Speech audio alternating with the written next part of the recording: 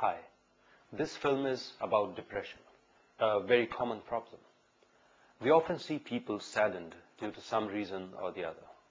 And we also know that they get out of it on their own. So does it really need treatment? If yes, when? We have an expert who's going to tell us more about diagnosing and treating depression. So here he comes. Hi. It is important to differentiate between what is called sadness that requires no specific treatment and a depressive disorder that requires medical intervention. You can make a diagnosis of depression if four or more of the following features are present in the absence of an organic mental disorder. At least two of these should be from the first three. Low, sad mood, loss of interest and pleasure in life, lack of energy or fatigability.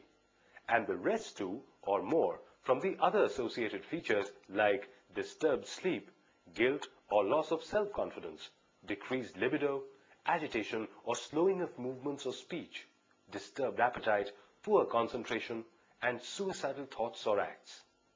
Do remember, it is often very difficult to elicit a detailed history from the patient, as he or she may be very quiet, withdrawn, sitting in front of you with a blank, sad face, or maybe just responding to you in one or two syllables.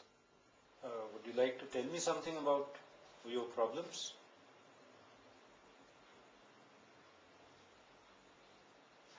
I can see you're very sad, but uh, if you can tell me, I'll understand and try to help you.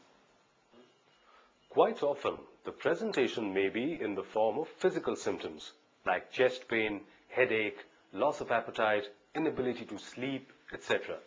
So, it is important that the physician also considers and rules out depression in patients who come with such symptoms. The management starts with counseling and sharing of essential information with the patient and the family. They must be informed that depression is a common illness and effective treatments are available for it. Patient must be supported against pessimistic thinking and encouraged to have positive thoughts. Attention should be paid towards possible suicidal tendencies. If medication is started, then patient must consult the physician before stopping the medication. Watch for recurrence of symptoms after recovery and seek prompt treatment. Treatment may continue for several months even after symptoms have resolved. Help patient to take small steps to resolve or lessen the current problems or stress in his or her own way. So having finished the counseling, we can decide on the basis of our assessment whether the patient needs medicines or not. Antidepressant drugs are considered if sad mood or loss of interest is prominent for at least two weeks, along with four of the other associated symptoms.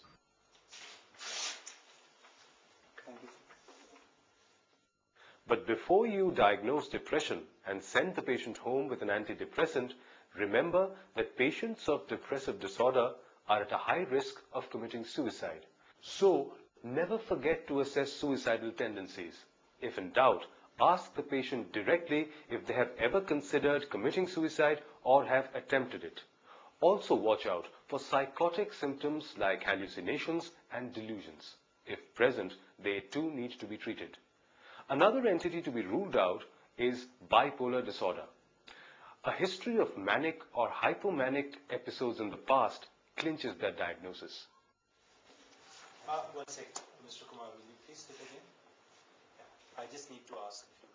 That's better. By the way, do you have films on suicide and bipolar disorders too, or do I need to spend some time on that? Well, we do have separate films on each of these topics. So you can watch bipolar disorders and management of a suicidal patient after this one. For the moment, I'll let him continue. Thanks. So now let's get straight to the medication. Antidepressant drugs are started with a low dose and gradually built up to the effective dosage over time. The effect of the medication usually builds up by about two to three weeks. While there are many antidepressants available in the market, among the newer antidepressants, fluoxetine could be given in a dose of 20 to 40 milligrams per day, morning dose usually after breakfast as the drug of choice. The starting dose is 20 milligrams. If fluoxetine is not available, amitriptyline, an older tricyclic antidepressant, can be used as an alternative. Start with 25 to 50 milligrams each night and gradually increase to 150 to 200 milligrams over the next 10 days. Medication should be continued for at least 3 months after symptoms resolve completely. In case of amitriptyline, the dosage should be tapered off gradually to prevent a rebound. In case of a relapse, the treatment remains the same. Now, like all medicines, antidepressants also have side effects. The most common ones, especially with older drugs like amitriptyline, are constipation, dry mouth, cardiac arrhythmias, urinary retention, drowsiness, confusion, and tremors. Overdose can create serious problems with amitriptyline if the patient takes more than the prescribed dose.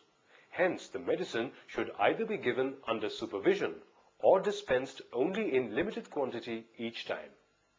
And lastly, do consult a specialist if the depression remains resistant to treatment even after 12 weeks. That's all. Thanks and bye. So are you now clear about the difference between sadness and clinical depression? If you are not, then please watch this film again. Otherwise, you can watch the other related films on bipolar disorder or management of a suicidal patient or the one on generalized anxiety for problem solving method. Hope you enjoyed this film. See you around. Bye.